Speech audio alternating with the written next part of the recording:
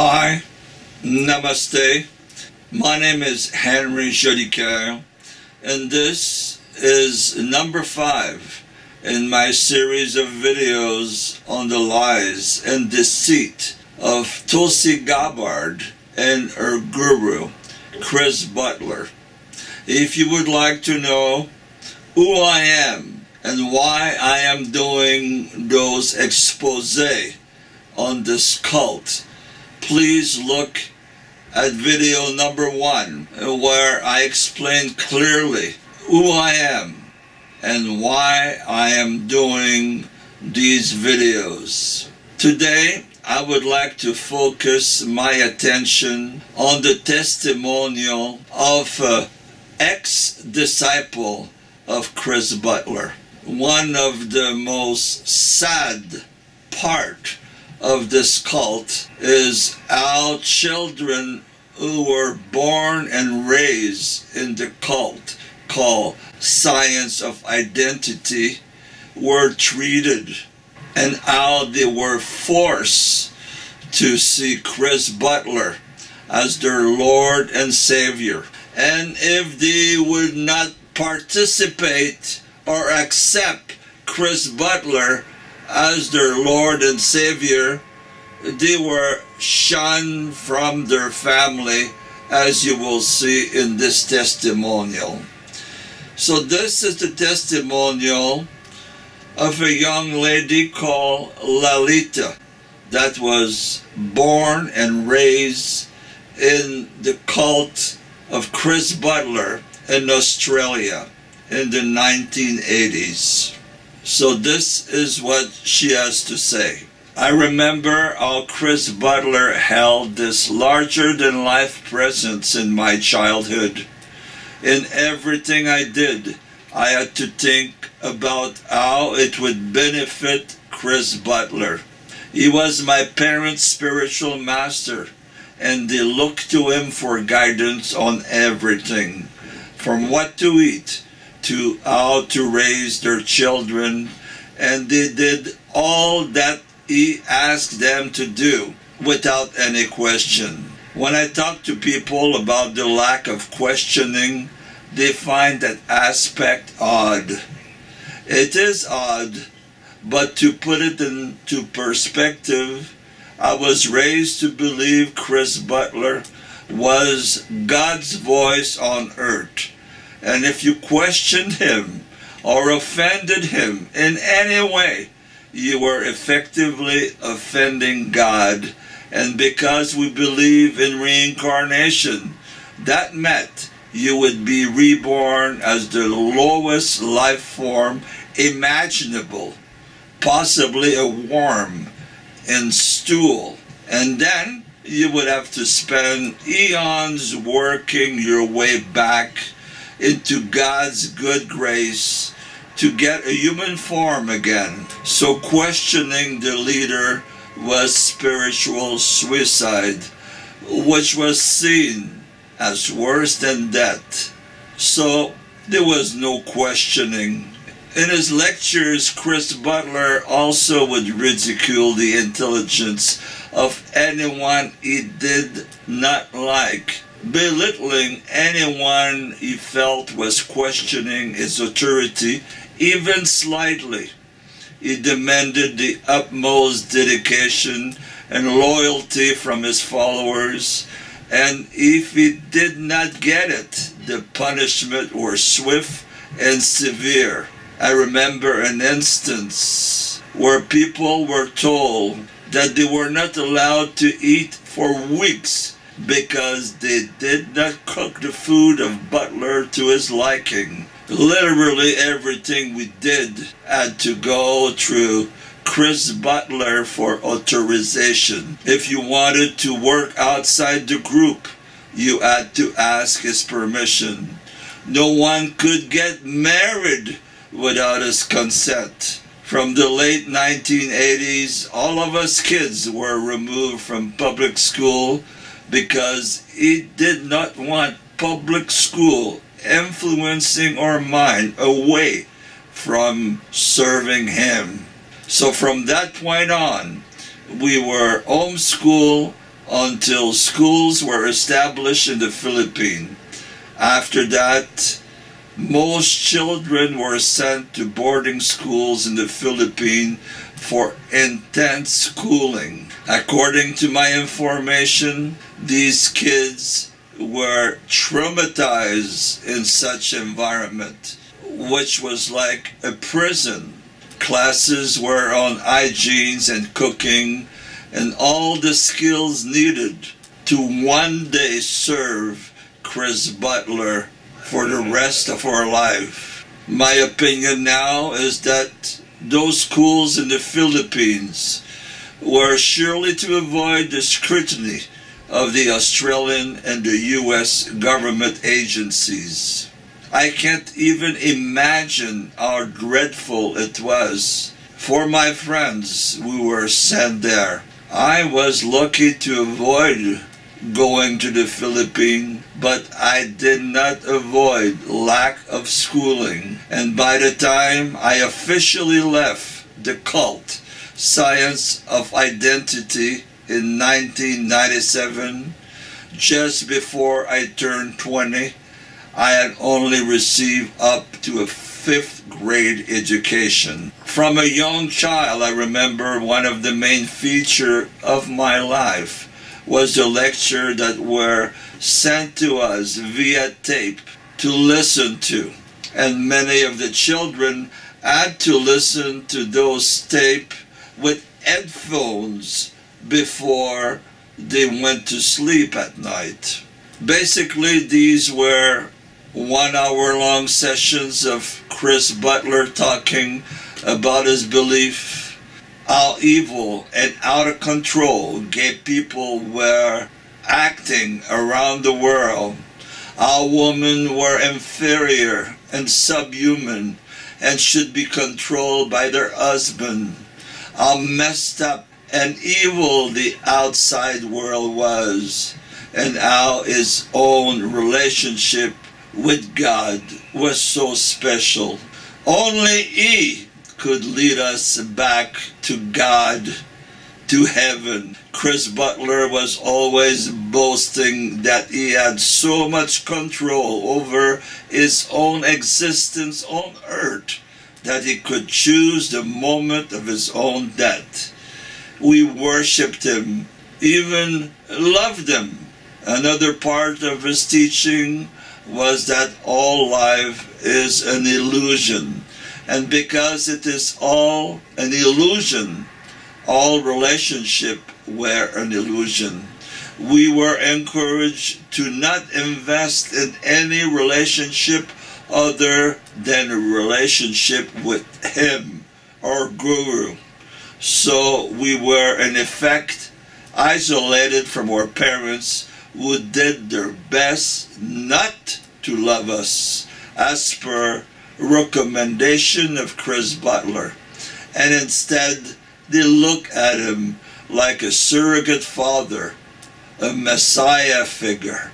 He was this imposing force in our life that we weren't supposed to offend which is frankly terrifying when you're a small child. I remember having many nightmares and a condition called sleep paralysis, which was brought on by the great stress I was living at the time. My parents did their best to keep us in schools, but when Chris Butler heard that some parent were resisting his order to take all the kids out of public school, his directive was clear. Get them out of public schools or you will be rejected as my disciple. Every time my parents would try to take us to school, my sister would become hysterical and then she would start having seizure. That was the power that Chris Butler had over us. I really wanted to paint these pictures of my childhood because Tulsi Gabbard grew up in the same cult as I did.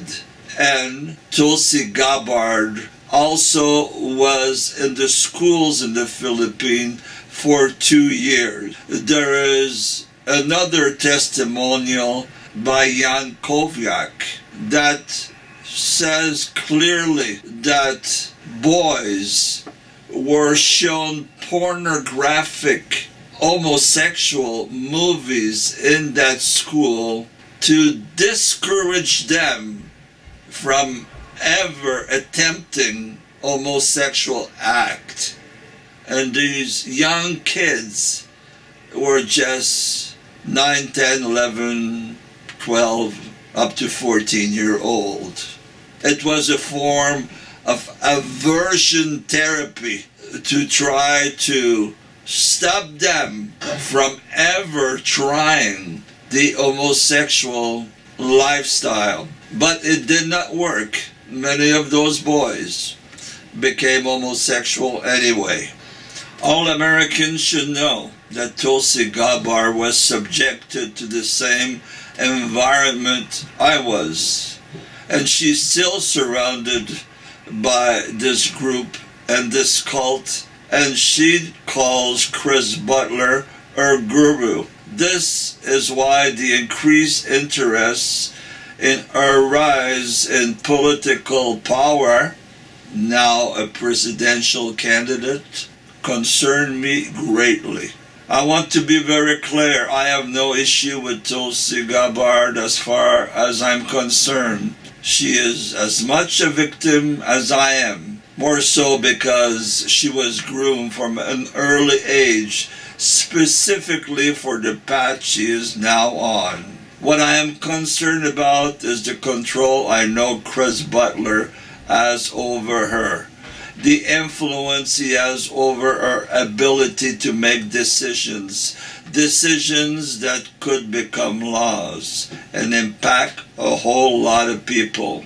I know what an abusive, misogynistic, homophobic, germophobic, narcissistic nightmare is Chris Butler. So I spoke out about Chris Butler before a few years ago, and the result was that my family cut off all contact with me. This has happened to every other person I know who got out of the cult and tried to expose the cult for what it is.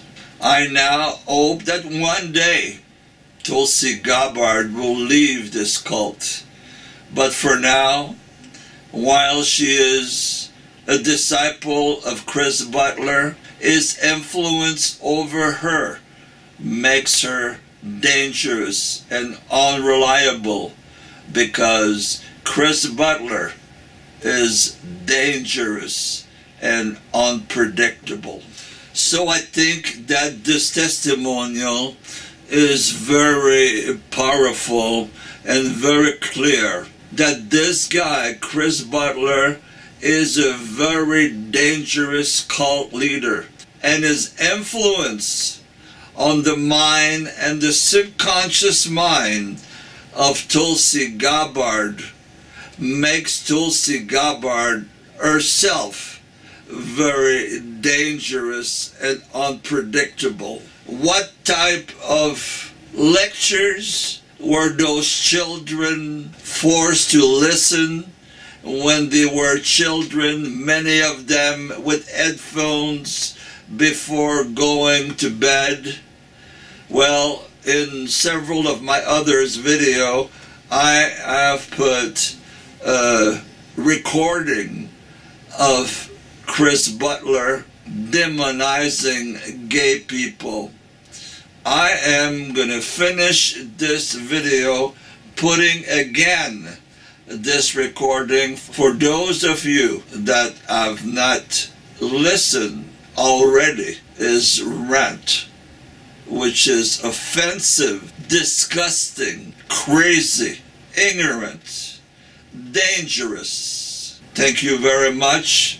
And please listen carefully to this megalomaniac pseudo spiritual master Chris Butler. The most extreme example is the homosexuals. They feel so bad about what they're doing, they can't enjoy what they're doing because they feel so guilty about it, so angry and so you know that they're that they are bad. They know they're doing something wrong that's not pleasing to God. And so they have to try to convince themselves that they have to try so hard to convince themselves that what they're doing is okay that they march around signs saying, I'm gay and I'm proud. Gee, why do you need to walk around with a sign doing that? I'm good.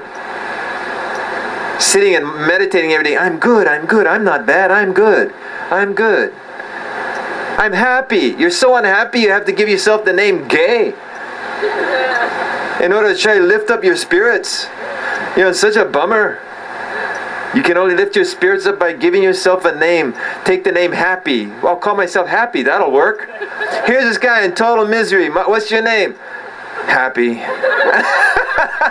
how did you get that name? Well, I figured if I took that name, people keep saying it over and over. I'm gay. I'm gay. I'm gay. I, I, you know, I would get that way.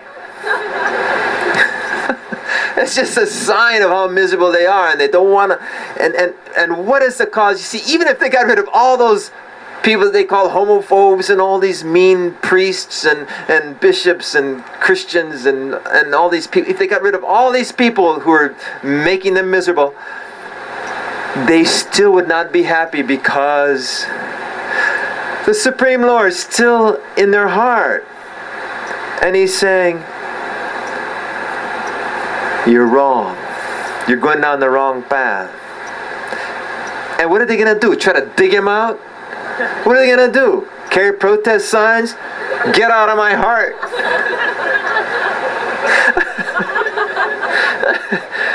I can, get the homophobes out of public office and out of their jobs and off the radio stations and off of TV, but I can't get the supreme homophobe, the supreme anti-faggot guy, the supreme fag fighter. I can't get that sucker out of my heart.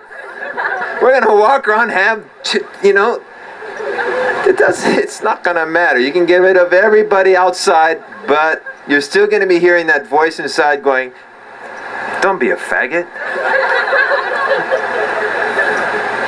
you're wrong what you're doing is wrong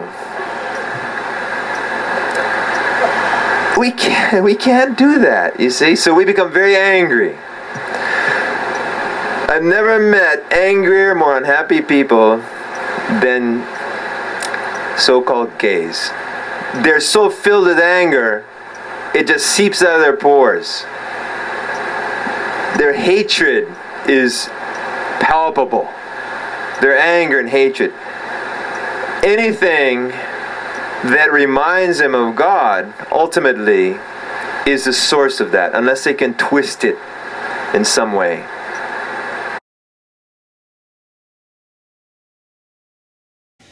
But tell me, I mean, I know this is probably weird, but isn't it true that if the faggot stopped screwing the other faggot's asses, wouldn't AIDS stop?